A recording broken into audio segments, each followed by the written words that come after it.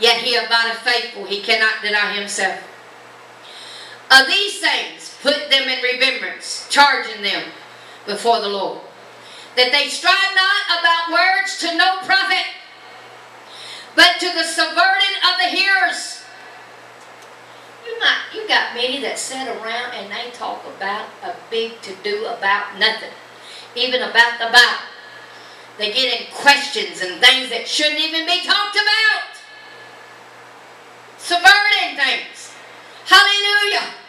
You know, if we'll keep it pure and holy, even in our talking about the Bible, many just want to gender up strife.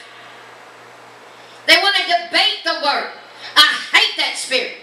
Yes, I stand in defense for the gospel, but I ain't going to stand there and just debate all the time and in an old strifeful spirit. I'll tell people what God tells me to tell. It's, it's up to them whether they receive it or not. I'm not going to sit there and just bait back and forth. I might a few times, but after that I said, Lord, I'm through. I'm through until God, I go until God says it's through. There's no, you can't have them. Them that have that old debating, strifeful spirit, you can't have them. Because they ain't wanting to hear truth.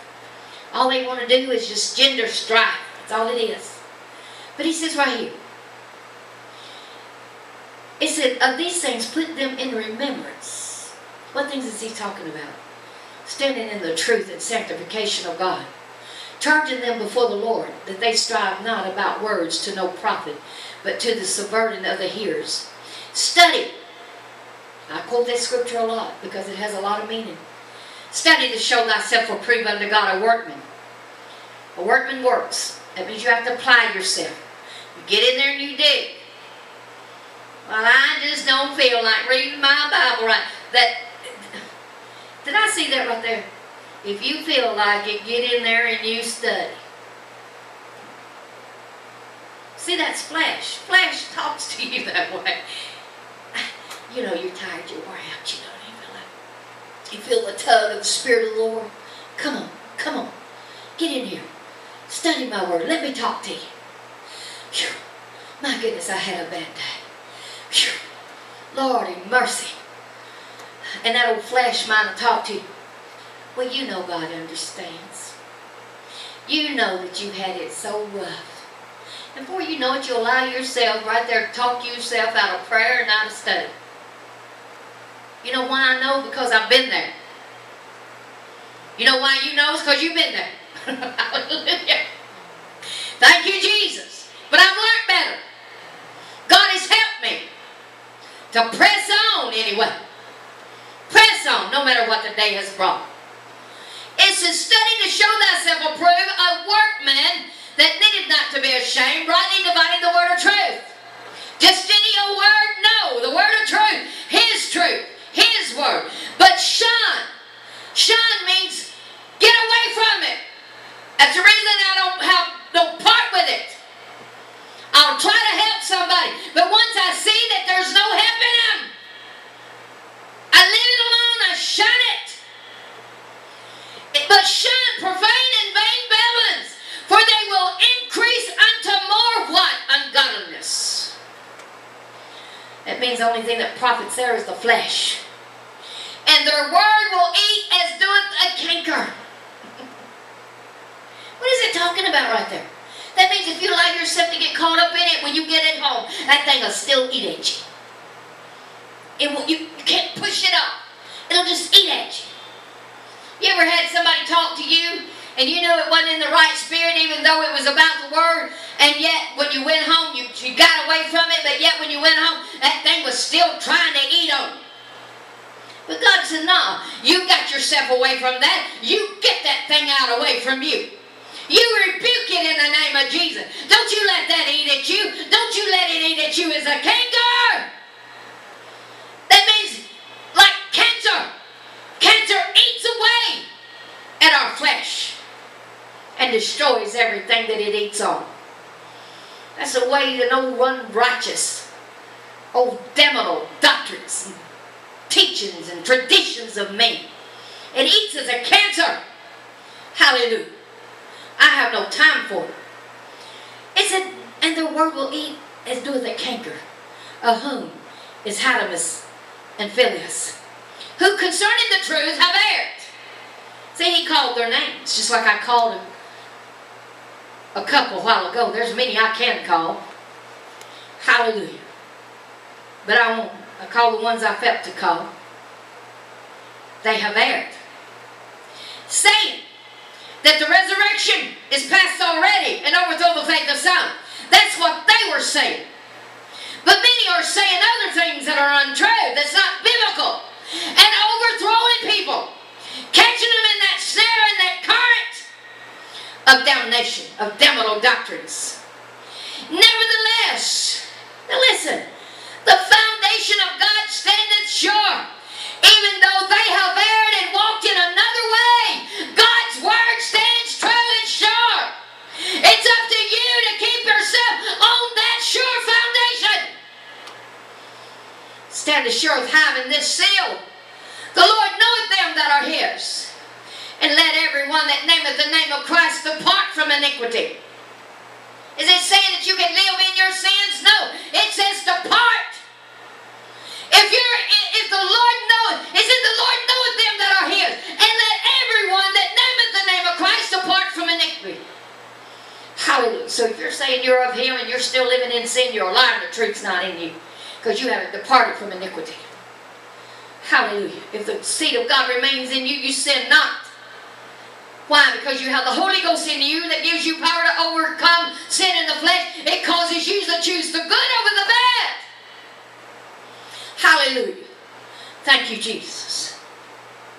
This word is needful today. My goodness, it breaks my heart to see people so caught up in damn mess. Hallelujah. They're on their way to hell and they think they're on the way to heaven. My goodness, they're deceived. They're sitting on church pews, falling right into the gates of hell. My goodness, we as watchmen, God's watchmen, we are to stand in the gate and declare the truth of God's word, saving them that would be lost. Hallelujah. Through the word of God, through the Spirit of Christ. Hallelujah. But in a great house, there are not only vessels of gold and of silver, but also of wood and of earth. Some to honor and some to dishonor. See, we all have good and bad things. But see, God is cleansing us. That's the reason we go through the fire. That's the reason we go through the fire, that He can get the good. That He can clean out the bad and save the good and work and build up that good. Because we all, when we come to Christ, have good and bad. Hallelujah. But it's up to us to go forth in that new creature that God has brought us into. And let Him mold us and make us into that, hallelujah, that vessel of God, a vessel of honor, meet for the Master's use. This is right here. And some to honor and some to dishonor. If a man, therefore, purge himself from these, from these, what is he talking about? All the things that causes us to miss the kingdom of God. Fornication, sin, wickedness, evil. If he purges himself from these he shall be a vessel unto honor, sanctified, purified, and meet for the master's use and prepared unto every good work. Hallelujah, hallelujah. Now won't you turn to Hebrews? I'm almost there. But I tell you what, if you'll let this sink in your heart, my goodness, it'll bring about a difference in your life and in your walk in God. Hallelujah, hallelujah. I'm fixing to show you something right here that's going to show you that if you're standing in truth, you're walking in truth. You cannot be an island off to yourself. Hallelujah. You need to be getting in the house of God. You, excuse me, you need to be getting under good leadership. Because you are allotted to a leader. Well, I don't know about that. Well, see, you, you just people just don't know the word. That's what breaks my heart. They don't know the word because they haven't been taught. My goodness, people have romped and run the aisles. That's good. I'm not against that. I'm for that. I love that. But my goodness, how much more important it is to sit down and hear with a receiving spirit the Word of God. Because it'll save your soul. It's the engrafted Word. That Word that takes a hold of you and becomes a part of you. It saves your soul. Hallelujah. Thank you, Jesus. Some people think they have the one of the greatest revivals there is. If everybody shouts all over the house, that doesn't prove a thing to me. What shows me that God moved in revival is that a change came and it's still there. Had a pastor like me. Oh, well, I was talking to him on the phone. Hallelujah. They told me, this is Sister Brenda. You know that change that came to the church while you were here? It's still here. It's still here. I said, praise God. Praise God. And let me know that my labor's not in vain. Hallelujah. It's still there. It's still got a hold of people's lives. Hallelujah. That's the reason we go with the gospel. Is to bring forth that true conversion. We don't go that people might shout. Where they're praising and shouting there, yes there was. That that didn't bring the change. It was the pure, unadulterated word of God that brought that change. Oh, if people could just realize how important this word is. They have believed the lie that has been put out over this earth. Oh, this is just a history book. Man wrote it. Oh, it's just a history book. Oh, yes, it's full of history. It's history that God has preserved. And it was written by holy men that were moved by the Spirit of God. Hallelujah. There's a roadmap that's been set out for us. I'm going to start reading at verse 1. Hebrews chapter 13, verse 1. Let brotherly love continue. Be not forgetful to entertain strangers, for thereby some have entertained angels unaware. Remember them that are in bonds, as bound with them, and them which suffer adversity, as bring yourselves also in the body. You know, Paul said, I am a prisoner of Christ. I'm in his bonds. We are a prisoner of Christ. If we have totally laid down our life and picked up our cross and followed him. Hallelujah. It goes on, it says, Remember them that are in bonds. It's talking about leaders, ministers. Them as bound with them, and them which suffer adversity. We suffer adversity all the time. The devil is continually trying to stop us, trying to stop what God has ordered to go forth. As being yourselves also in the body. Because see, we are all in the body of Christ. We all hold different offices. But we are all witnesses. Hallelujah. Marriage is honorable in all and the bed undefiled, but whoremongers and adulterers, God will judge. This word judges. This word is God. This word judges. Hallelujah. It says, let your conversation be without covetousness. And be content with such things as you have, for he has said, I will never leave thee nor forsake thee so that we may boldly say, The Lord is my helper, and I will not fear what men will do unto me. Now listen, right here, this is why you cannot be an island unto yourself. People say, well, I'll serve God at home. I don't like what that leader says. Well, I just don't agree. If they would get in prayer, and they would really truly seek God and line it up with the Word of God, they would see that that leader. Now I'm talking about not good. I'm talking about good leaders. I ain't talking about these old hirelings and these old wolves. If, if God shows you, hallelujah, that they're a wolf and a harlot, you need to be fleeing. You need to be running to a good church, a church that God has established with His Word. Hallelujah, a good leader that will stand there between you and the wolf. Remember them which have the rule over you. It's talking about your pastor, your shepherd. You who have spoken unto you the word of God. That's what we do. We bring you the word. We bring it and dish it out how God wants it to be brought forth, whether it's through teaching, whether it's through preaching, hallelujah, manifestation of the Spirit of God being wrought in the house through the body. Whose faith follow? I uh, people say, well, I don't follow man, I follow Christ. what did he just say right there? Whose faith follow? Your shepherd. Follow their faith in God. They're leading you down the right path. Follow them. Considering, see, he's telling you to try the Spirit, see whether they're right or not. Considering the end of their conversation. It's saying, you look at that shepherd's life right now.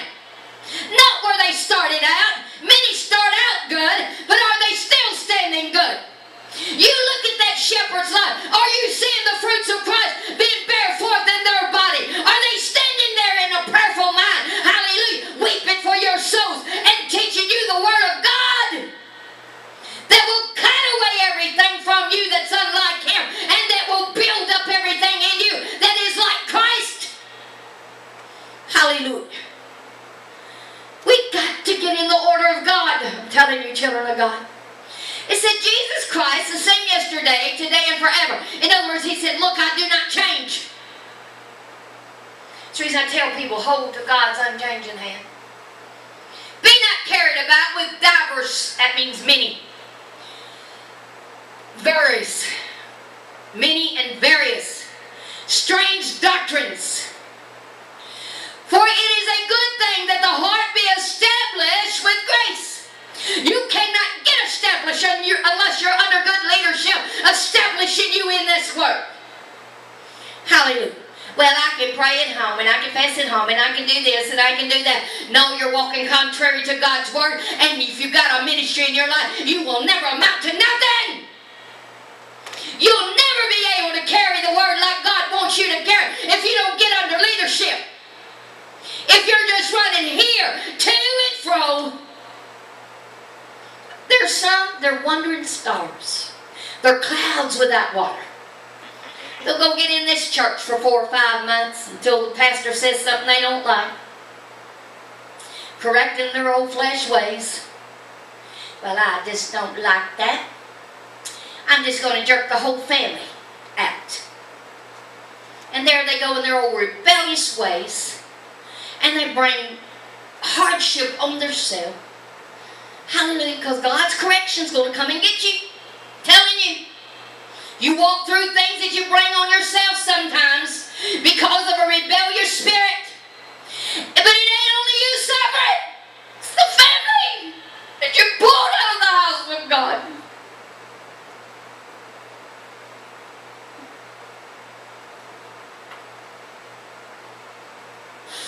I see this over and over.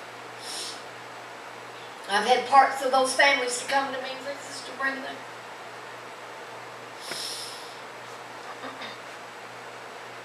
my parents, they're good people. They love God. But every time we get start getting established in a word, they don't like something and they jerk us out.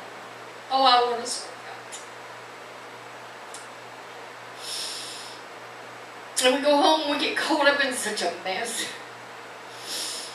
It breaks my heart. Anybody mistakes this for depression, you are wrong. This is a burden. But I weep for people because I see them destroyed left and right.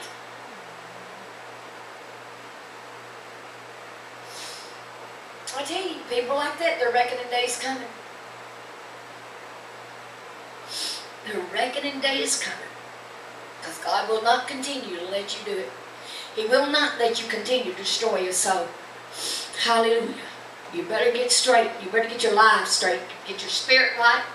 Get where God wants you. Hallelujah. You can try to go everywhere else. If God don't want you there, you ain't doing nothing for that church, and that church can't do nothing for you. That's true. I mean, you might get strength time and time again, but I mean, you won't never go and be established in God like you need to be. Only that pastor that you are allotted to. Do you know that you have uh, souls that are allotted to you? If you have a ministry in your life, you have souls that are allotted to you. You are required to get them souls. This reason it's so important. Can we stand there and say, Lord, I had a husband. Lord, I had a wife. Lord, I had children. Father, I can't help it. Oh, uh-uh. It won't matter. I could stand there and say, well, Lord, I got children, I got grandchildren that need me. Lord, uh, Lord, I would just love to be with them every day. Lord, I would just love to be able to, just to enjoy them. Hallelujah. He lets me from time to time. That ain't what I'm called to do. I was chosen to carry forth this word in the manner that He wants me to carry it forth. And I've got to put Him first above all. If I put Him first, you better believe He's going to take care of me and my people. My people here in this church and my people that's in my family is going to take care of me. Hallelujah. I pray continually for my grandchildren and my children. My granddaughter, Brenda, that's named after me. Her and her half, not half sister, but her stepsister, was walking down a road and a car come by and it hit her on the arm. It could have hit her full force. I don't know how fast it was going, but it hit her on the arm. It hurt her arm. I know God had an angel of the Lord standing right there and scooped that car over. He could have moved it over enough that it didn't touch her whatsoever, but I believe sometimes God allows things to touch to let you see how powerful He is. Just how powerful His keeping power was that day. My little granddaughter, she was riding on, uh, on a tricycle, on her bicycle, went down this concrete. She didn't have a helmet on. And she fell and she cracked her head and she cracked her skull. Praying. I was praying. God, don't you let nothing happen to them. Lord, you keep them, Jesus. Her mama got a hold of me and said, Brenda, please pray. Please pray. She didn't know, but I was already praying. I already knew that something had went awry. Hallelujah. And God, they were saying that that she could have a concussion on her head because her, there was a crack in her skull. But God healed it. Oh, God healed it. Hallelujah. Amen. Sometimes we don't have and, and our family don't benefit because we are rebellious. But if we'll walk obedient to God, preach His word and carry it,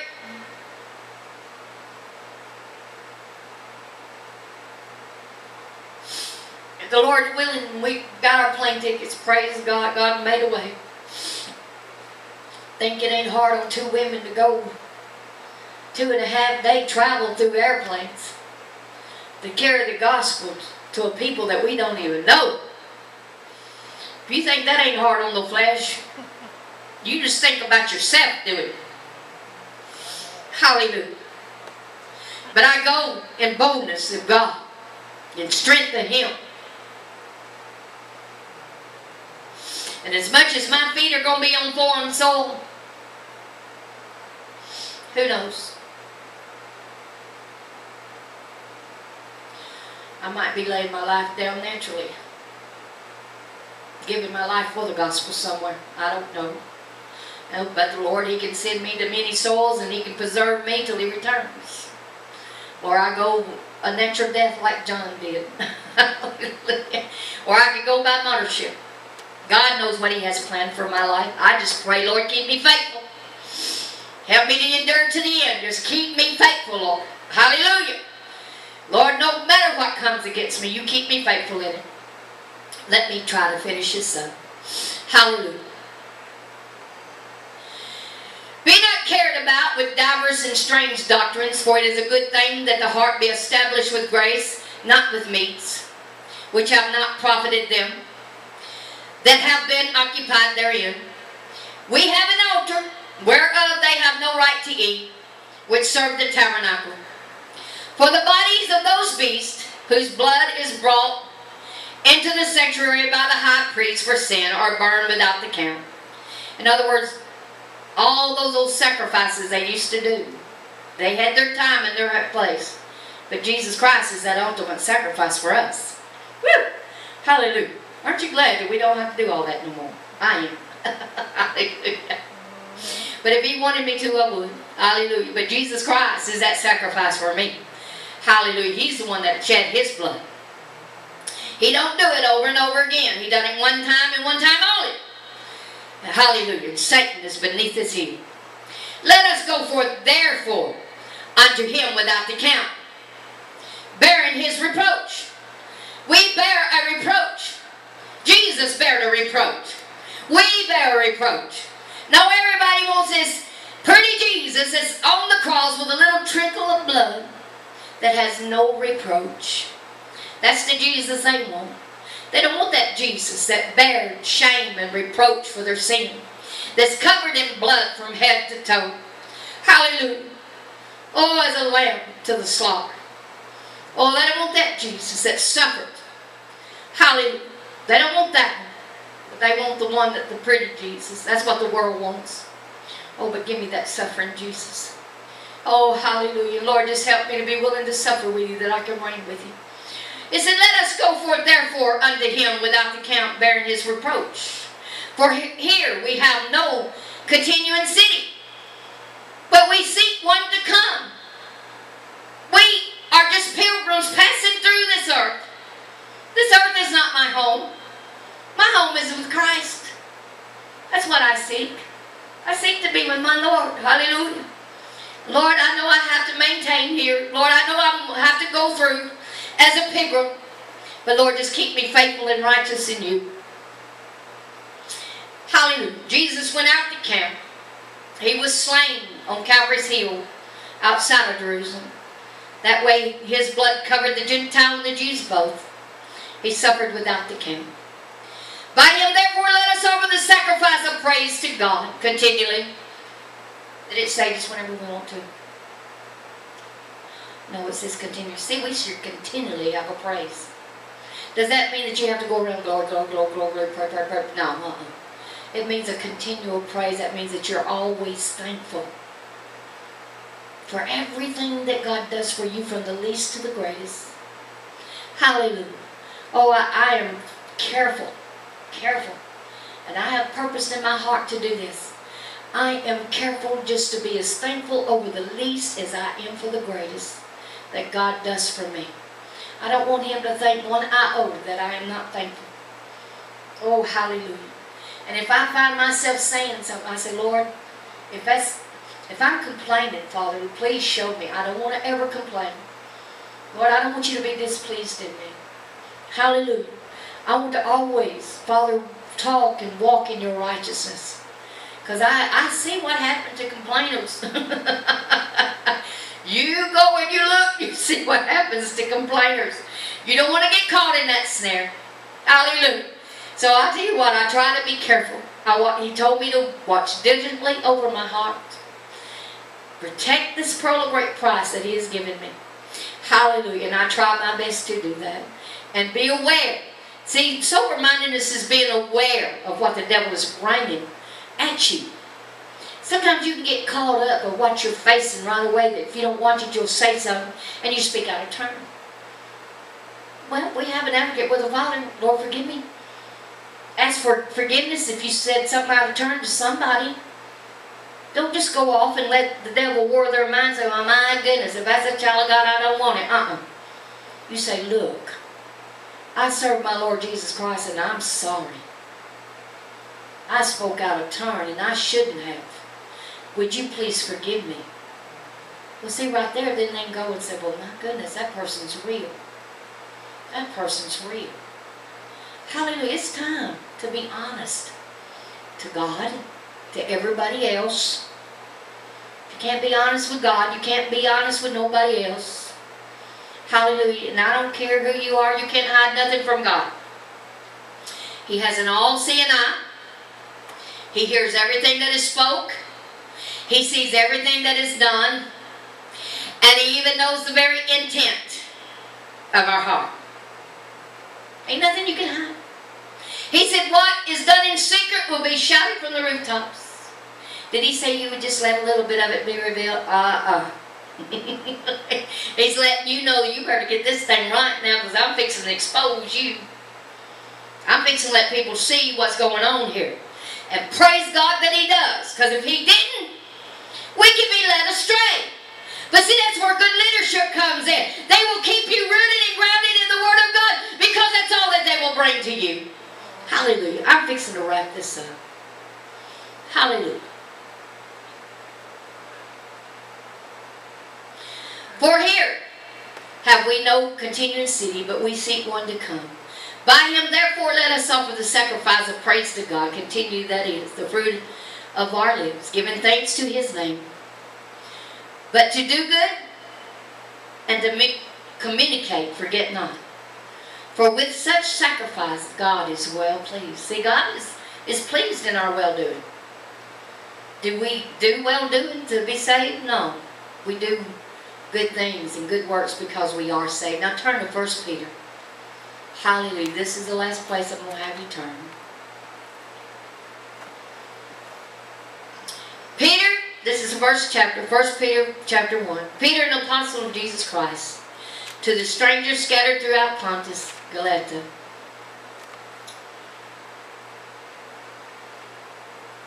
Cappadocia, Asia, and Bithynia, I guess. Anyway, Lord forgive me. Elect, now who is he talking to? He's talking to the elect. According to the foreknowledge of God, the Father through sanctification, that means purification of the Spirit. We are purified through the Spirit, children. By what? Being obedient to the Word. Being doers of the Word, not hearers only. Unto obedience and sprinkling of the blood of Jesus Christ. Grace unto you and peace be multiplied. Blessed be the God and Father of our Lord Jesus Christ, which according to his abundant mercy hath begotten us again unto a lively hope by the resurrection of Jesus Christ from the dead. Hallelujah. You know Jesus Christ is a quickening spirit. My goodness, ain't no way his spirit can live and abide in us and us not be quickened in him. Hallelujah. And I tell you what, he's there to encourage us, to strengthen us, to correct us. Why? Because He loves us. Because He loves us. He wants us to, to go forth and be strong. Be strong in Him. I'm going to read a few here real quick. You can write them down if you want to. It says Psalms 119 and 9. Now listen to what David said. He said, Withal shall a, he said, Wherewithal shall a young man cleanse his ways? Now he asked this question. In other words, he said, How can a young man cleanse his ways? He says, by taking heed. When you take heed to something, that means you do it. Thereto, according to thy word. In other words, you do the word. The word is what cleanses you through the Spirit. You come obedient. You obey the commandments of God. And therefore, and we do this through faith. Hallelujah. Because we're saved by grace. And it all ties in together. You know, we're not saved by grace that we can sin. God forbid. We're saved by grace that we can live under God. John 15 and 3, Now are ye. Now are ye are clean through the word, which I have spoken unto you. Now, Jesus said, Look, these words I'm speaking unto you, they will cleanse you. They are cleaning you if you'll obey them, if you'll become doers of them. Ephesians 5 and 26. That he might sanctify and cleanse it with the washing of the water by the word. How the word washes you is you become a doer of it. Tells you not to lie, you don't lie. Tells you not to commit adultery, you don't commit adultery. Tells you not to fornicate, you don't fornicate. It's washing you, it's cleansing you. Hallelujah. It tells you to have a right spirit, you have a right spirit. Cleanse yourselves from all filthiness of the flesh and of the spirit. It didn't leave nothing out. And we can only do that through the Word by being obedient to the Word. 1 Peter 1 and 22. Seeing you have purified who did he say? He said, Ye have purified your souls. See, he put this responsibility on us. Somebody, people think God's going to knock them out, make them live right. No, you do it willingly. Seeing you have purified your souls and obeying what? The truth. Did it say truths? No, it said truth. There's only one living truth. Through the Spirit unto unfeigned love. That means righteous love. Something that is feigned, that is mean, it's not real, it's false. Unfeigned is real. Real true love of the brethren. See that you love one another with a pure heart fervently. What does it mean by fervently? It means with all that you have. You put your all into it. My goodness, when somebody does something fervently, they, they're putting their all to it. They're putting their energy, everything into it. Hallelujah. You know, God don't leave nothing undone, does he? Woo! Hallelujah. But I'm thankful. I'm thankful. Hallelujah. I pray that you'll let this word, my goodness, I pray that you got your fallow ground broken up through prayer and fasting and supplication. And through hearing the word, studying the word, applying yourself. Because this seed of God that was